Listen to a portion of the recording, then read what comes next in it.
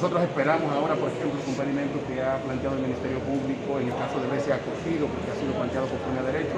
Y de igual forma esperamos que en, esta tarde, cuando regrese el juez Alejandro Vargas a conocer el, caso de la operación anticulpo, también acoja los pedimentos que ha realizado el Ministerio Público, porque eh, nosotros hemos presentado para una medida de coerción más de 400 elementos de prueba, que son más que suficientes como para que el tribunal pueda acreditar que los eh, eh, imputados son con mucha probabilidad autores o cómplices de los hechos que se le imputan y además hemos demostrado en ese tribunal que varios de los imputados han intentado destruir pruebas, amenazar testigos y esas son razones suficientes como para que el tribunal, eh, por eh, la tutela del propio proceso, dicte prisión preventiva como lo ha planteado el Ministerio Público.